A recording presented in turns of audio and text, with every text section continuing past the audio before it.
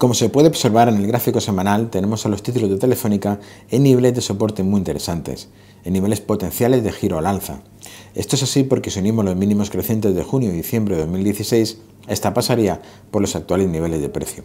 O lo que es lo mismo, puede que Telefónica esté intentando construir un suelo de mercado en los actuales niveles de precio desde los que intentar salir de nuevo al alza. Claro está, para tener la confirmación de que algo está empezando a cambiar para bien en el título, le exigiremos al precio que salte y confirme por encima de la resistencia que presenta los 9,13 euros, los máximos del pasado mes de noviembre.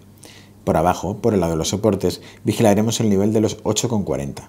Perforar este soporte daría al traste con el escenario actual, donde barajamos que los títulos de la operadora estén tratando de construir un potencial suelo de mercado.